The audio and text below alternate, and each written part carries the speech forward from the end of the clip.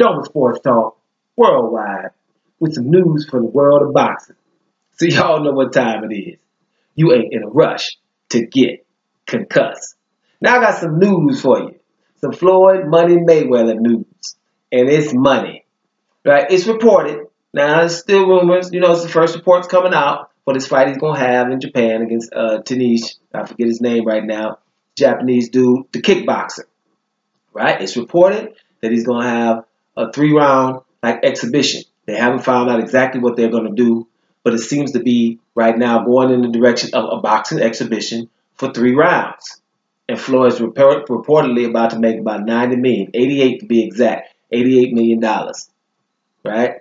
It's a little bit low for Floyd Mayweather, but shoot, for three rounds, 88 million, that's money for you right there.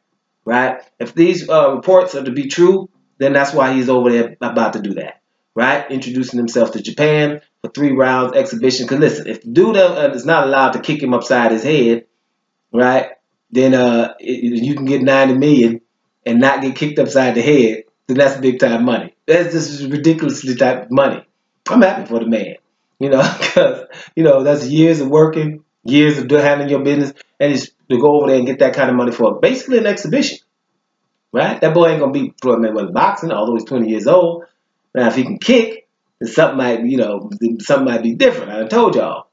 But listen, we're to keep it short because we don't know. This is the first reports that I've heard so far.